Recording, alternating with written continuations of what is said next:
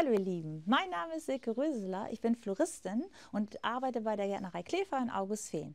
Ich möchte euch heute mal äh, zeigen, wie man aus altem Geschirr in Anführungsstrichen, so wie hier diese Suppenterrine, äh, eine moderne Floristik rausmacht. Ähm, genau, und dazu zeige ich euch jetzt mal die Schritte, wie das funktioniert. Und zwar habe ich hier nochmal eine alte Suppenschale, Suppenterrine mit dem Deckel. Und da machen ich als erstes Steckmasse rein.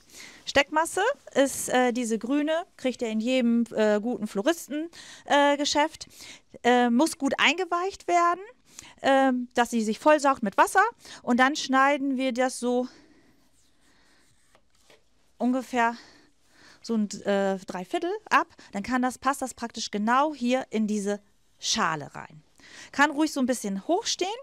So, und damit man jetzt diesen Deckel jetzt auch hier so fest bekommt, seht ihr hier schon, habe ich hier Stöcker drin und das sind die Fallopia-Stöcker. Die sind jetzt so bräunlich, das sind diese hier. Ihr könnt aber auch jeglichen anderen äh, Stock nehmen, was ihr habt. Der muss nur eben halt ein bisschen stabil sein. Den schneidet ihr auf Länge. Ich habe mir mal hier so ein Maß gemacht, wie, wie die Höhe von dem Deckel äh, sein soll. Ähm, das könnt ihr natürlich variieren. W wichtig ist, dass der dann gerade und fest in die Steckmasse reingedrückt wird. So, möglichst dann auch ja gleichmäßig hoch. Und dann, und so hält der Deckel. So, und dann brauchen wir hier außen nur noch äh, mit Grünstecken. Ich habe jetzt hier die Nordmannstanne, dann habe ich Kiefer, ich habe ein bisschen Eukalyptus und ich wollte das diesmal jetzt ein bisschen mit frischen Blumen arbeiten, weil hier habe ich ja nur mit Koniferengrün gearbeitet und dann weihnachtliche Deko reingeklebt. Und jetzt arbeite ich hier noch ein bisschen mit der Lysanthus, mit frischer Blume und mit dem Wachsflower. Wenn ihr das reinsteckt hier in die Steckmasse, wichtig ist bei Koniferengrün eben den untersten Stiel bisschen von den Nadeln befreien. Dann kann man ihn gut hier reinstecken in die Steckmasse. Dann hat man nicht so ein ja, dickes Loch nachher in der Steckmasse, dass es locker wird dann eben halt. Jeden Stiel eben halt auch ein bisschen schräg anschneiden. Und dann kann es losgehen und da ist der Fantasie freien Lauf gelassen.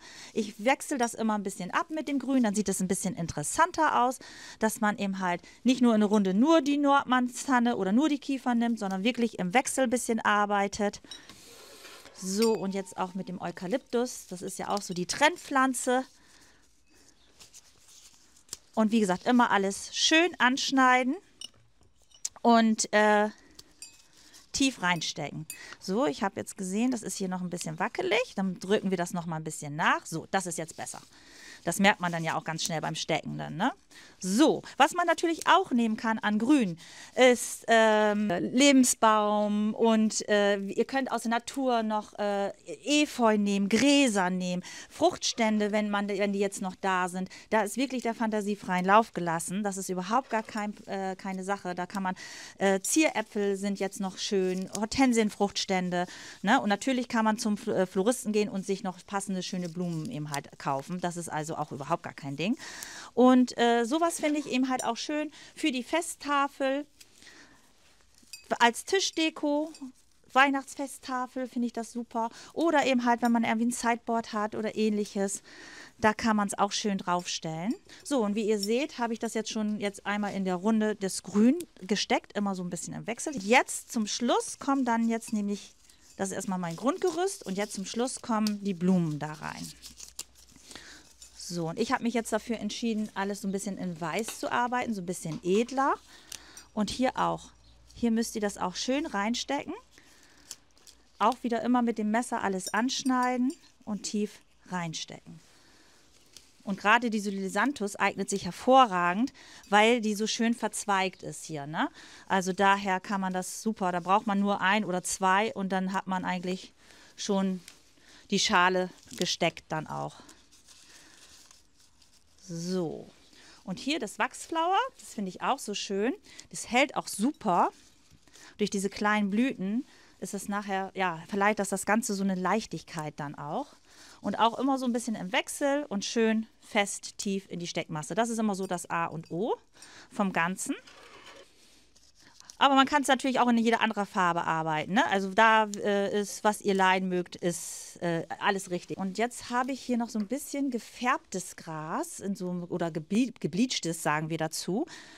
Ähm, man kann natürlich auch natürliches Gras nehmen, weil man sollte die Gräser ja auch äh, jetzt im Winter ruhig dran lassen und erst im Frühjahr abschneiden. Aber so ein paar von diesen schönen Ähren kann man natürlich für Deko-Sachen immer gut gebrauchen. Und das darf ruhig so ein bisschen dann auch raushängen. Bisschen rüberhängen, weil das ist ja diese Leichtigkeit. Gras ist ja immer eine Leichtigkeit. Die darf so ein bisschen schweben. Das ist das auch. Also ihr seht, man braucht überhaupt gar nicht so viel Material, um so eine tolle äh, Gestaltung zu machen.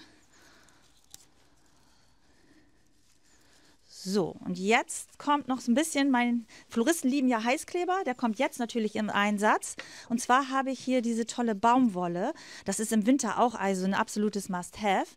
Und die klebe ich hier einfach so ein bisschen rein das, also es sieht immer ein bisschen schöner aus, wenn ein bisschen mehr Material oder verschiedene Materialien, so muss ich sagen, drin sind, weil dann ist immer, ähm, da hat das Auge mehr zu gucken, ne? dann ist das so interessanter, als wenn man nur eine Sorte drin hat, dann sagt man, okay, alles abgescheckt, aber wenn da so ein bisschen mehr drin ist, dann, äh, ja, ist es einfach schöner fürs Auge zum Gucken. So, und dann habe ich hier noch ein paar Zapfen, die würde ich da gerne mit reinmachen. Die habe ich gedrahtet. Also, wenn ihr einen Tannenzapfen andrahten möchtet, dann nehmt ihr diesen äh, Steckdraht den kriegt ihr auch in jedem Floristenfachhandelgeschäft. Und dann eben halt zwischen diesen Schuppen reinlegen, ein Ende ein bisschen überlassen. Und dann kann man den ganz gut hier so rumdrehen, zwischen diesen Zapfen ganz eng dran. Und dann verzwirbelt man den einfach hier zwei, dreimal rum. Und schon hat man den gedrahtet. Und dann kann man eben halt den Stiel oder den Draht vielmehr kürzen, je nachdem, wie man den braucht. Und die stecke ich dann hier einfach so mit rein. Und auch ruhig Zapfen, nicht immer so hinstellen, weil ein Zapfen, der runterfällt, der landet meist nie so. Der ist immer, der liegt oder über Kopf. Und auch ruhig so dann mal den Zapfen verarbeiten. Dann wirkt das eben halt natürlich.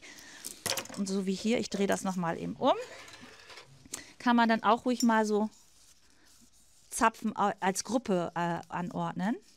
So, und jetzt wäre das schon eigentlich fertig, was man jetzt noch als auf, zum Aufpimpen nehmen könnte. Wenn man es jetzt ganz weihnachtlich hat oder noch ein bisschen Touch Weihnachten reinhaben möchte, kann man hier noch mal eine Kugel reinkleben.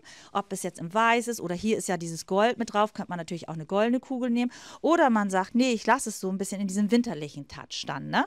Also daher finde ich, dass äh, da, das ist wieder eure Fantasie freien Lauf gelassen und äh, ja, und ich finde, das ist doch eine schöne Deko für jeden Tisch und für jede Tafel oder eben halt auf dem Sideboard, wie ich schon gesagt habe. Und ich hoffe, ihr habt jetzt Lust, sowas nachzumachen. Ich würde mich freuen.